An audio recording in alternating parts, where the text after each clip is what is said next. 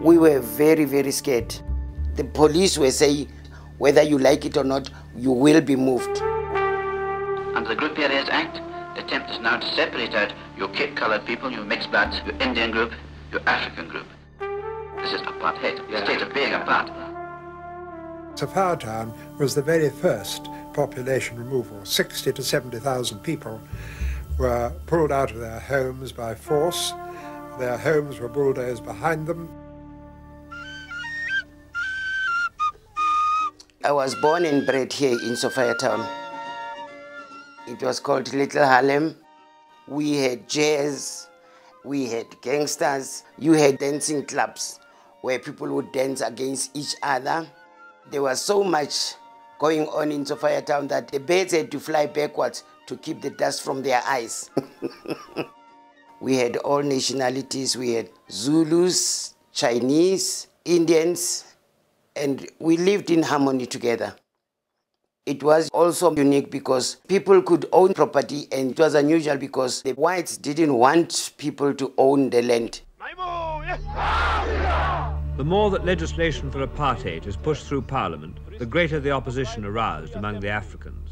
They wanted us to be moved far away from town so that they can take Sophiatown and turn it into a white suburb. People fought that they should stay here because they were here first. So if the government wants to move us, they will have to do so by force. We had just finished having supper when we had a big knock at the door.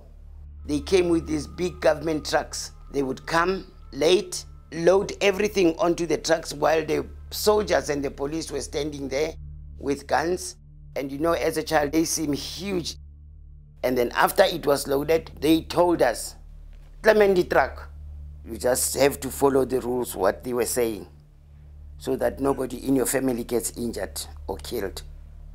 They told us that they are taking us to a new house in Meadowlands. o tla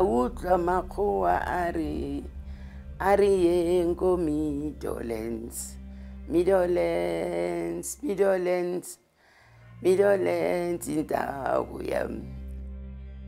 In those days there was no electricity. It was pitch black.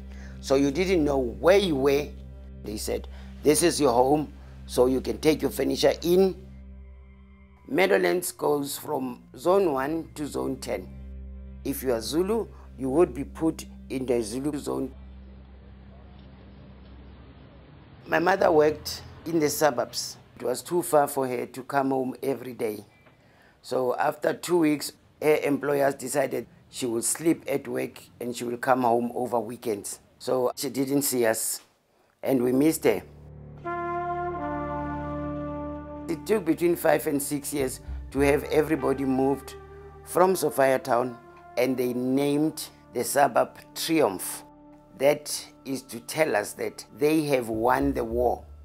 Three buildings remained that were in Sophiatown. It was hateful at the time, but I would say it also made us better people. It made us understand the dynamics of life. It made us face apartheid face on. I always wanted to come back to Sophiatown. In our culture, where your umbilical cord falls, that's the place you call home. I came back in 1997 and bought this house to say I'm back home.